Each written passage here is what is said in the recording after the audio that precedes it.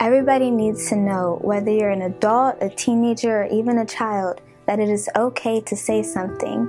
If you see somebody hurting and struggling and in pain, even if they say they're fine, they probably need help. And it's okay to tell somebody and like help them, even if they don't want it, because you never want it to be too late. What I need you to understand is that you do not have to keep your emotions in. You can let them out or talk to somebody so that it don't lead to anything worse. I need you to please understand this message. When tragedy strikes, I think it's very important that you find you somebody that you trust and that you can talk to and let your feelings out because when you keep your feelings bottled up, it's not doing anything but hurting you.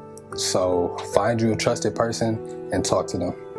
As your female peer, I'm here to inform all my male peers that it is okay that you are hurting. It is okay that you are sensitive. It is okay that you're emotional.